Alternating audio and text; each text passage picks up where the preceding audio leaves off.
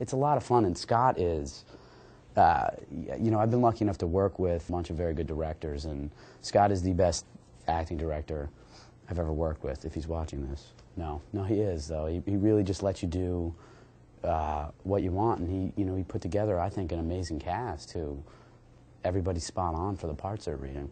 And he's really cool about letting actors play.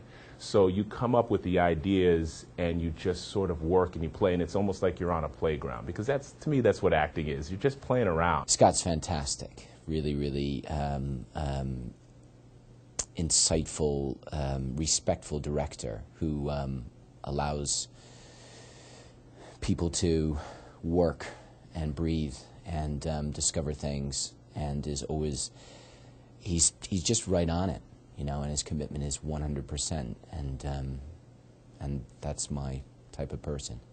I would say that the director's job is you get an actor who's on a tightrope, and the, the actor has to go from here to here, and they're going to do it, and they're going to fall many, many times because they're learning.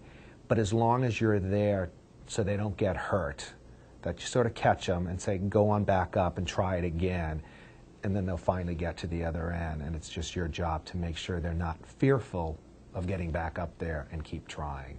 And that's, uh, sort of the idea that I always put into a rehearsal situation.